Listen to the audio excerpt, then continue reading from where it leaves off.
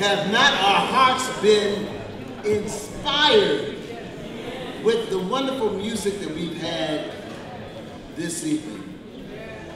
I think we need to give also honor unto our musicians. Up.